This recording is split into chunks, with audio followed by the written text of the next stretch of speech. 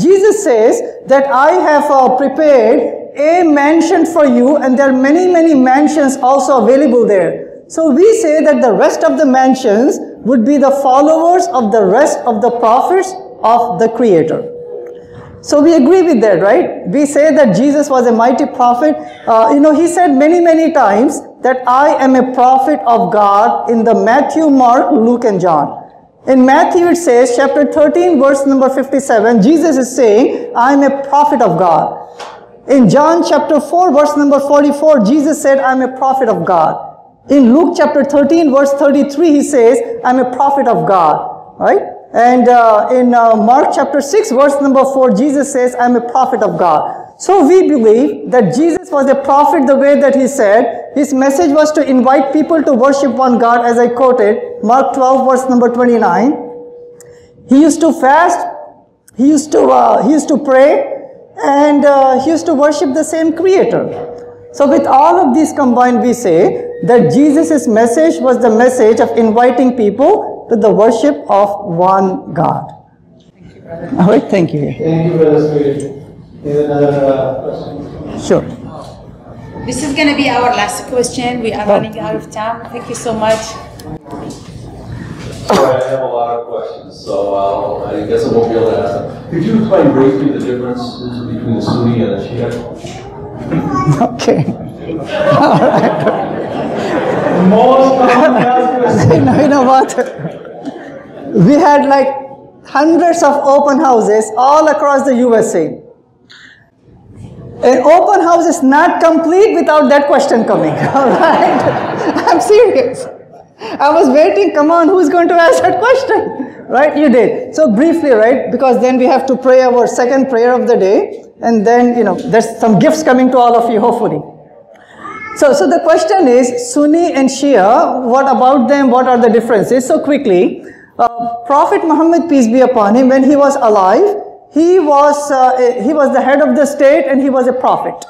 But after he passed away in the year 632, Muslims have to appoint a new head of the state. Not a new prophet, because the Quran says in chapter 33, verse number 40, that Muhammad, peace be upon him, he is the final prophet, he is the seal of the prophets. So to appoint a new head of the state, there were two groups, two groups of Muslims. The bigger group, they would like to appoint someone who was the most eligible. His name was Abu Bakr. The second group, they want to appoint someone who's also eligible. His name was Ali. And he was the son-in-law and the cousin of Prophet Muhammad, peace be upon him, right? Both of these individuals, they were eligible. It so happened that Abu Bakr was appointed as the very first caliph or the very first successor as the head of the state. So the small friction between the two groups is not based upon theology, it was initially based upon politics. However, in the Quran, it does not say ever that, you know, these people are called as Sunnis, these are Shias. The only label God has given in the Quran for the followers of Islam in chapter 22, verse number 78 is the word Muslim the word Muslim. So if you ask me the question, okay, Sabeel, who are you? Uh, are you a Sunni or a Shia? I would say that I am a Muslim, right? However, some of you or some people, they may think that the Sunnis and the Shias, if I have to label them, that they're, that they're analogous to the Protestants, the Catholics, the Mormons, and other uh, sects of, uh, you know, your faith. However, that's not the case. All the Muslims all over the world, we have the same one concept of God. There is only one God, no partners to Him.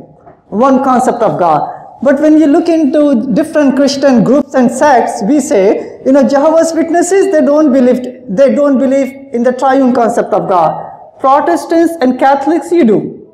So there is a difference when it comes to the main belief, who is God.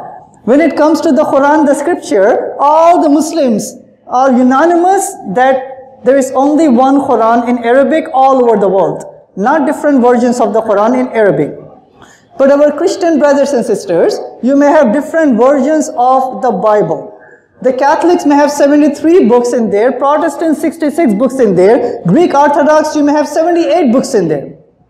So again, Muslims are united with our scriptures also. The way that Muslims pray, we pray a similar way anywhere in the whole world. You know, I have never been to China. If I go to China, I would feel at home in a mosque. They will pray exactly the same way that they pray in this mosque over here. But if you go to a Catholic church, a Jehovah's Witness, a Mormon, a Protestant church, they may have their worship in a different way concept of the hereafter, right? So all of these uh, main fundamentals combined, Muslims, we are, we are united in it. Uh, however, then your question can be, how come there is some friction between, you know, some Sunnis, some Shias, and some groups around the world? I would say that friction or those wars and the discord, it is because it's a human problem. It's not a Muslim or Islamic problem. Humans, we fight. What's going on in Ukraine, may Allah, God bring peace, not only there, but all places of the world, right? People fight because of historical vengeance, because of oil, because of land, because of, you know, uh, culture, nationality, people fight. So we say it's a, it's a, it's a human problem. So when it comes to uh, Sunnis and the Shias, we say they're all Muslims as long as we follow the basic tenets of Islam. All right? Well, thank you, Vasil. Uh, we have five more, I requested for five more minutes, Oh, five more minutes? five more minutes. But, uh, I want you guys to decide that which one, which one would you like Dr. Sabeel to elaborate? Terrorism or Sharia? Ah. Both of them are hot topics, you know. Terrorism or Sharia? Or, or women in Islam. Why not? Any one of three, you can, you can take a pick. And I took, I, I, I, so, so ask them and give us a five more minutes. Okay, by the, by the raise of hands, who would like to go for the Muslims, for me, to explain about uh, violence and terrorism, right? Show of hand. Okay, show of hand, who would like me to elaborate on the topic of women in Islam? And who would like me to go with the topic of Sharia? What? And what about the rest of you? you don't care, I guess, right? we have to have a flip a coin with a three-sided coin now. They're all equally. Okay, and sister, you decide. Which topic? Terrorism is a very big. Uh, that's what he was gonna talk about. I could, yeah. Okay. I joined the group, so whatever you say is good. Okay, good, good. Uh, you know, honestly, all these topics are important. Uh, there was a there was a survey by, by, by USA Today. According to the survey, the number one misconception people have about Islam is about women in Islam, right? And the next one was about Sharia, then about violence and whatnot. But let's speak about the violence part because many of you, you may not be aware, right? Now it's really important when it comes to uh, violence, extremism, terrorism. Let me just say plain, simple, black and white that terrorism is an act by a human being. That human being can be of any faith or no faith. Muslims don't have a monopoly on it. Really important, right? Muslims don't have a monopoly on it. Any person from any background, they can do acts of terrorism. You know, when we when we look at, unfortunately, there have been 4,000, 406,000 killing by gun violence in this country in the last 15 years. And I would say that every single one of them is an act of terrorism. You know, when they labeled January 6th, they say many of the people, you know, what, what's going on here? They want to topple the government and they want to use force.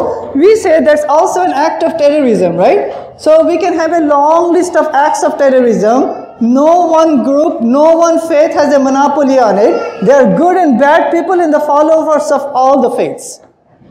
Second important point is, if we believe, okay, this is by the show of hand, how many of you believe that every human life is equal and precious? That's what I expected, by the way, right? If that is the case, that means we as humans, we have to condemn any and all acts of terrorism, no matter who does it, with any weapon, with any intention, with any process. Equally, we have to condemn every single act of violence and terrorism, not only done by those who are from the Muslim background. So equally, we have to condemn what is going on in India. There's a genocide going on in India by some people, not all the Hindus by the way, by some people there on the Muslim minorities. We have to equally condemn those Buddhists who have done a genocide on the Muslims in Myanmar. We have to equally condemn those from the Jewish background who are committing atrocities on some Muslims up there. And we have to condemn any Muslim who are doing acts of terrorism on followers of other faiths or no faiths. But one important thing that I want to bring is that when a Muslim is doing it, obviously we, we Muslims, we condemn it. But we also have to look at why are some people, some Muslims in some countries are doing the acts of terrorism, right? I can quote you Dr. Robert Pape, who's a, who's a professor from Chicago. And he said, so he wrote a book called Dying to Win, and he studied terrorism for the last 25 years, and he's saying in that book, it is not the Quran, it's not the Muslim culture, it is not Muhammad, peace be upon him, it is the occupation of the US forces on the, on the Muslim lands that is the number one cause of terrorism in those lands. Second evidence I can give is, you know, the there were two drone missile operators who came on the TV and they said that we miss 90% of our targets. And those missed targets, they land on innocent people, on women and children and in, on the schools, and those people, the family members who are surviving, now they became emotional and mad at America, Americans or anyone else because their family members, they have been gunned down by the drone missiles. So because of that, those drone missile operators are saying, we are the ones who are creating terrorists in those countries. So we have to condemn everyone, right? However, what I would say is, we cannot judge Islam based upon the actions of some, you know, not so good practicing Muslims.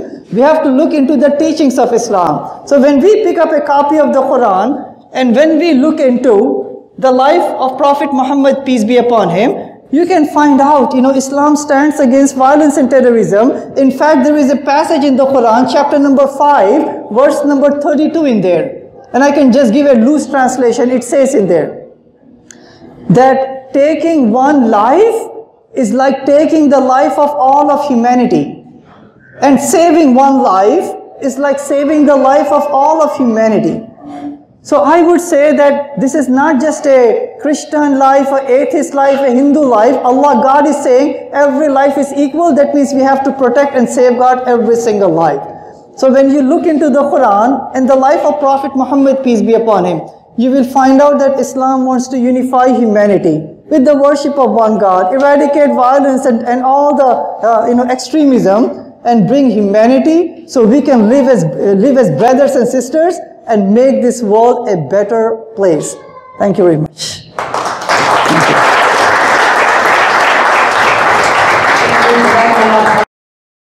Uh, the Sunni Shia uh, question will always be there because people are curious. How can you claim to be so united but then have two different groups?